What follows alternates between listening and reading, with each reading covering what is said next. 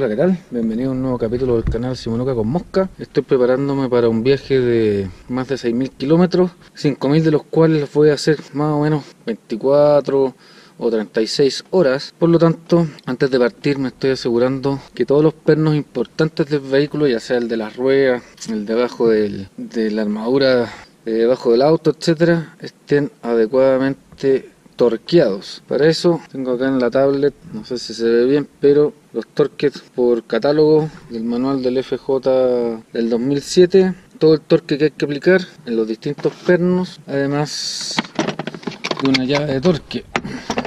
Estas las pueden conseguir en Chile, no hay problema, o las pueden comprar afuera como quieran.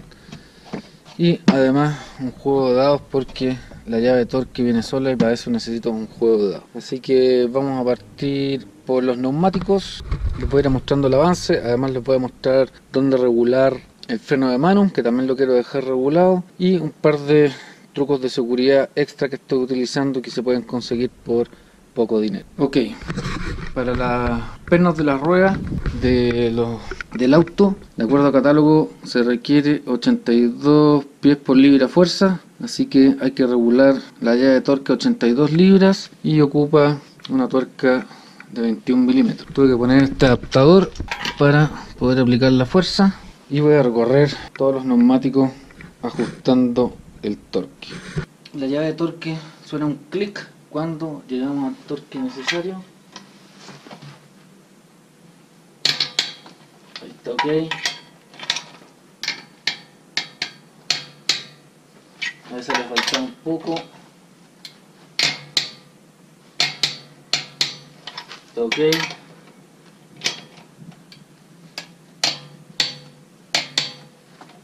Ok.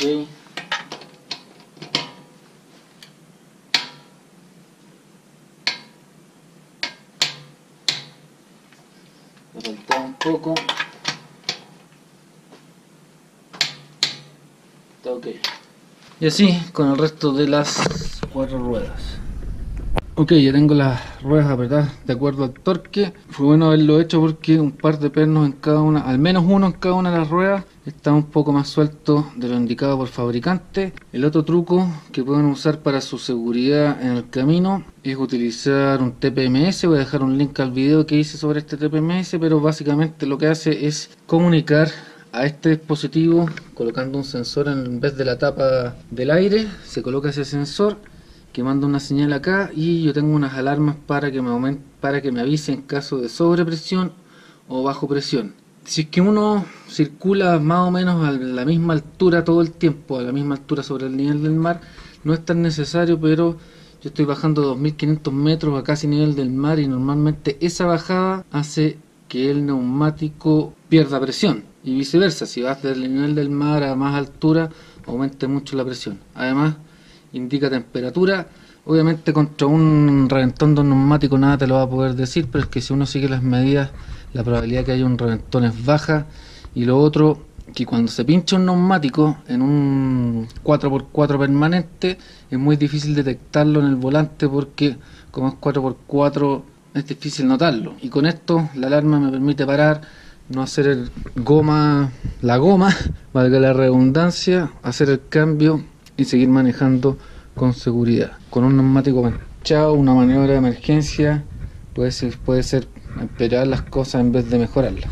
Vamos al ajuste de la palanca cambio. El ajuste de la palanca cambio no hay que sacar ningún tornillo ni desarmar, entre comillas, nada. Lo que hay que hacer es levantar esta parte de la consola.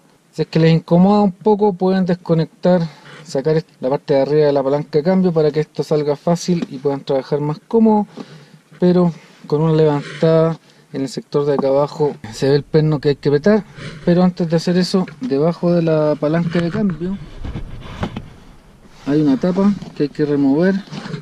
Se puede remover con la mano no hay problema. Esta de acá. Y después de hacer eso basta con levantar aquí para hacer la pega. Lo que sí yo tengo que hacer antes de hacer eso, además de sacar esta tapa, no lo comenté, pero si es que alguno de ustedes tiene esta alforja, también hay que sacarlas antes de realizar la pega. Ese perno de ahí no sé si se aprecia bien con mucha luz, pero ese perno que va ahí es el que hay que apretar. Se cacha el tiro porque el eje que está ahí al medio, ese que estoy iluminando, va conectado a la palanca manual. En mi caso, puede haber alguna diferencia entre distintos modelos. En mi caso es una llave número 12, la que debo accionar.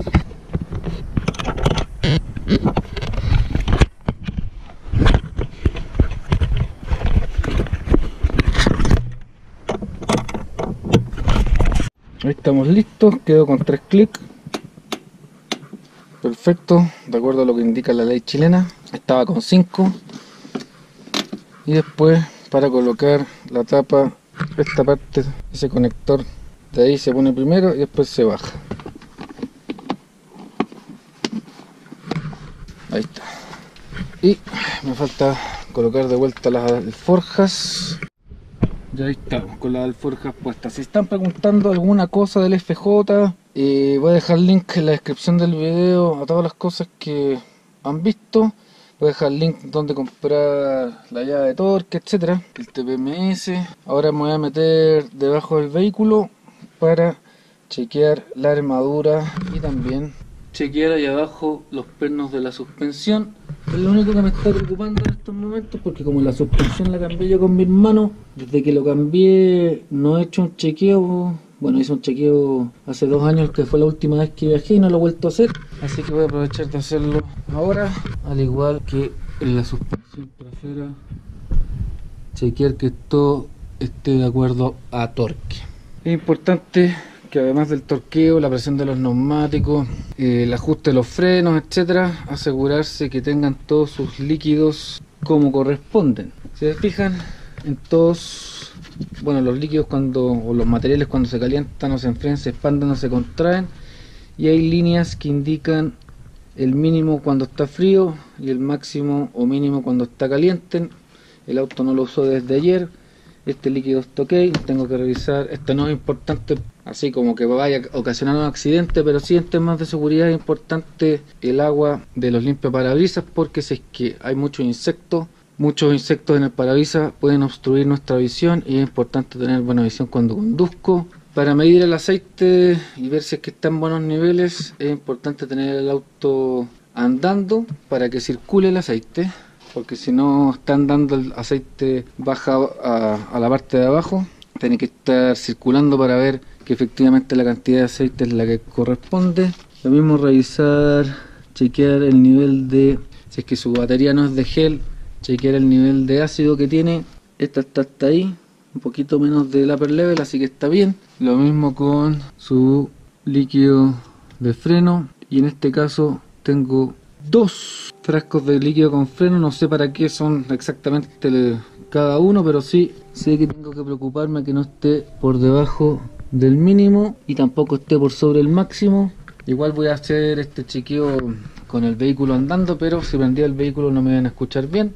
Lo otro que pueden hacer es verificar carga con un tester o si tienen un cargador de batería, dejarla la noche cargando para asegurar que no tengan problemas con la misma. Y si es que tiene una batería en falla, lo ideal es cambiarla y si no van a tener que andar o con cable o con una solución que pueda permitir encender el auto cuando la batería se, se gasta. Sin embargo no es recomendable. Me falta pegarle una buena limpieza aquí al motor con vapor. Seguramente ya, ya no vale la pena porque voy a salir de viaje, pero seguramente a la vuelta voy a pegarle una buena limpieza al vehículo.